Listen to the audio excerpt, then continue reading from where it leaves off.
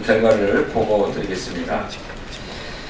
에, 잘 아시는 것처럼 어, 최고위원회의 보고를 거쳐서 지난 월요일에 267명의 1차 적격 판정자가 발표된 바 있고 오늘 역시 최고위원회를 거쳐서 2차 적격 판정 어, 10명 도합해서 277명의 적격 판정자를 발표한 바 있습니다.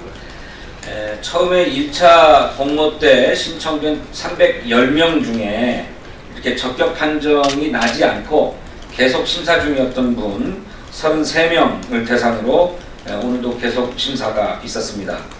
아, 그 결과 아, 적격 판정을 5명에 대해서 했고요.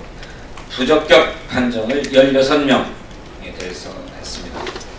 그리고 어, 조금 더 심사하기로 한 계속 심사 대상자는 12명입니다.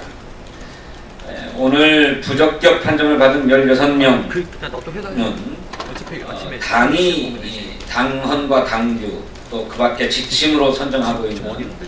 부적격 기준에 명확하게 해당되거나 하고 있어. 어, 젠더 문제가 심각해서 젠더 검증 소위원회에 에, 검증을 거친 결과 어, 후보자의 자격을 부여하기 어렵다라고 판단된 그런 분들에 대해서 어, 부적격 판정을 했고요. 또 어, 범죄 경력 등이 이- 있는데 이에 대해서 에, 본인의 소명이 에, 부족한 경우도 역시 부적격으로 판정했다 하는 말씀을 드리겠습니다.